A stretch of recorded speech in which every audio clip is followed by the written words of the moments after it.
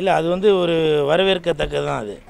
ஏன்னா இப்போது அந்த ஒரு எயிட்டிஸ் அந்த டைம்லாம் பார்த்தீங்கன்னாக்கா நூறு நாள் நூற்றம்பது நாள் நூற்றி எழுபத்தஞ்சு நாள் முந்நூறு நாள் இப்படிலாம் படங்கள்லாம் ஓடிட்டு இருந்திருக்கு.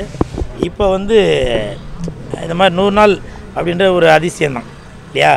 அதனால் இது வந்து ஒரு வரவேற்கத்தக்க விஷயந்தான் எனக்கும் ஒரு சின்ன மன வருத்தம் என்னன்னாக்கா இப்போ இந்த படம் நல்லா சூப்பர் ஹிட் ஆகிருக்கு இன்னமும் அடுத்த வர படங்கள் அதை வந்து தாண்ட முடியலையே அப்படின்றது ஒரு மன வருத்தம் தான். ஏன்னா அடுத்து அடுத்து அடுத்து அடுத்து இன்னும் படங்கள் வந்துட்டே இருக்கணும் அப்படின்றது என்னுடைய ஒரு ஆசை. கமல் சார் நடிப்பு ஆ அது நான் எப்படிப்பா சொல்லுவேன்? அவர் கடல் இல்லையா? நான் வந்து கக்கூசில் ஊற்றுற தண்ணி மாதிரி. அந்த கடல் தண்ணி எவ்வளவு? நான் கக்கூசில் ஊற்றுற தண்ணி எவ்வளவு? இது கண்டென்ட்டுக்கு செம்மையாக மாட்டுன்னு நினைக்கிறேன். அப்படி தானே வியூவர்ஸ் ஏன்னா இப்போ வந்து சினி கமல் சார் வந்து அறுபத்தி மூணு வருஷம் ஆச்சு சினி ஃபீல்டுக்கு அதை பற்றி இல்லை அதுதான். அவரை வாழ்த்த வயதில்லை. வணங்குகிறேன் ஐயா. சரிங்களா? நாங்களாம் இளைஞர்கள். இன்னைக்கு உங்களை பார்த்து தான் அடுத்தடுத்த படி ஏறி போகிறோம் எங்களை மாதிரி இளைஞர்களுக்கு நீங்கள் ஒரு வழிகாட்டி. நீங்கள் அறுபத்தி மூணு இல்லை இன்னும் நூற்றி அறுபத்தி மூணு இரநூத்தி அறுபத்தி மூணு இப்படி போயிட்டே இருக்கணும்னு நான் வாழ்த்துறேன். இப்போ ஜெயிலரும் இந்தியன் டூவும் ஒன்றா ரிலீஸ் ஆனால் எந்த படம் நான் வெற்றி பெற நினைக்கிறீங்க? ஒரு பக்கம் ஆண்டவர் ஒரு பக்கம் ஜெயிலரை பற்றி நான் என்னப்பா சொல்கிறது ஏப்பா இந்த இந்த படம் பீஸ்ட்னு ஒரு படம் ரிலீஸ் ஆச்சு இல்லையா? அந்த படத்துக்கு விஜய் சாரோட ரசிகர்களே சொன்னாங்க. நான் வந்து விஜய் சாரோட ரசிகர் எனக்கு படம் பிடிக்கல அப்படின்ட்டு எல்லாரும் நெல்சனை திட்டினாங்க. நான் அப்படி இருந்தோம். அந்த படத்துக்காக நான் எவ்வளோ சப்போர்ட் பண்ணேன். நெல்சனை பற்றி நான் பெருமையாக பேசுவேன். என்னை எவ்வளோ பேர் திட்டினாங்க. வழி இல்லாமல் நான் தீர்த்துக்கிட்டேன். ஆனால் இப்போது ஜெயிலர்னு ஒரு படம் எடுக்கிறாங்க.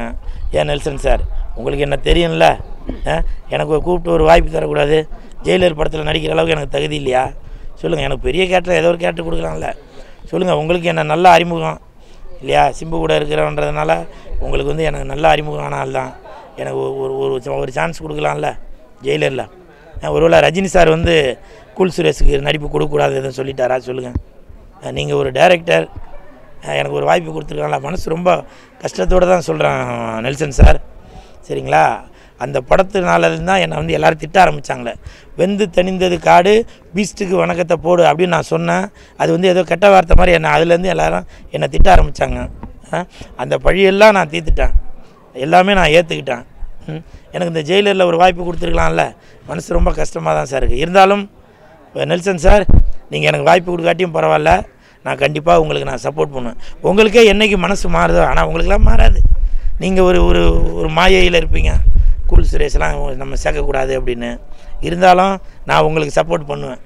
சரிங்களா? இப்போவும் சொல்கிறேன் வெந்து தணிந்தது காடு ஜெயிலருக்கு வணக்கத்தை போடு. வெந்து தணிந்தது காடு நெல்சனுக்கு வணக்கத்தை போடு. புரியுதுங்களா? எப்படி? ரெண்டு பேரும் என்கிட்ட வந்து மோதுங்க முதல்ல. சரியா? நான் இவ்வளோ குரலை கொடுக்குறேன்ல. இந்தியனுக்கும் குரலை கொடுக்குறேன். தமிழனுக்கும் குரலை கொடுக்குறேன். கர்நாடகாக்கார நம்ம ஜெயிலருக்கும் குரலை கொடுக்குறேன். எல்லாருக்கும் தான் குரலை கொடுக்குறேன். நான் உங்களுக்கெல்லாம் குரலை கொடுக்குறேனே. எனக்காக கொஞ்சம் நீங்கள் குரலை கொடுக்குறீங்களா? ஆ? மனசு கஷ்டமாக தான் இருக்குது ரஜினி வந்து இண்டஸ்ட்ரி கிட்ட நிறைய கொடுத்துருக்காரு. இப்போ கமல் வந்து விக்ரம் மட்டும் பொன்னியின் செல்வன் வந்து கமல் ரஜினிங்கிற ஒரு பெரிய பிரச்சனை ஆச்சு அதை எப்படி பார்க்குறேன் இல்லை அது அவங்களாம் ம மணி சார்லாம் அவரை பற்றி நம்ம விமர்சனம் பண்ணுற அளவுக்கு எதுவும் இல்லை. பொன்னியின் செல்வன் வரட்டும். கண்டிப்பாக அதுவும் சூப்பர் ஹிட் ஆகும். சரிங்களா? நீங்கள் ஏடா கூடமாக கேள்வி கேட்டு எதுவும் என்னை சிக்கலில் மாட்டி விட்றாதீங்க ஆ. அது வந்து வேணும்னே அண்ணனை வந்து தமிழ் சினிமாவில் உங்கள மாதிரி உங்களை எப்படி கீழ் மட்டத்தில் ஒதுக்குறாங்களோ மேல் மட்டத்தில் ஒதுக்கின்னு இருக்காங்க. இது ஒரு தமிழனா நீங்க என்ன சொல்றீங்க? இதே மாதிரி தலைவனை வளர விடாம இல்லை இல்லை அது அப்போ. இ- இப்போ வேற அது நார வாய் இப்போ இது வேற வாய் புரியுதுங்களா? இப்போ சிம்பு வந்து எல்லாரும் வாழ்த்துறாங்க.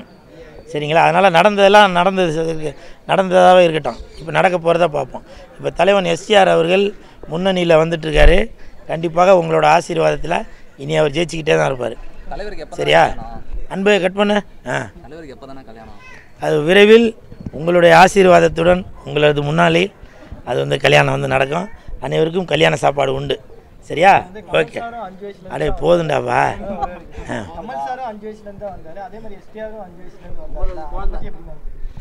அதுதான் நான் தான் சொல்கிறேனே அவங்க வேற இவங்க வேற அப்படிலாம் இல்லை. ரெண்டு பேருமே இரு கண்கள் தான்.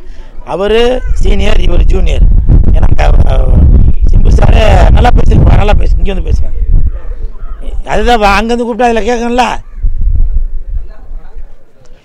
அதனால் அப்போ கமல் சாரை வந்து நம்ம சிம்பு சார் வந்து ஃபாலோ பண்ணிட்டு தான் இருக்கார். சரிங்களா? போதும் ஆளை விட்டுருங்க. மறக்காம ஃப்ரீ ஸ்டோன் ஸ்டுடியோ சேனலை சப்ஸ்கிரைபர் பண்ணிக்கோங்க. அப்படியே அந்த பெல் பட்டனையும் கிளிக் பண்ணிக்கோங்க. உங்கள் ஆதரவு எங்களின் பலம்.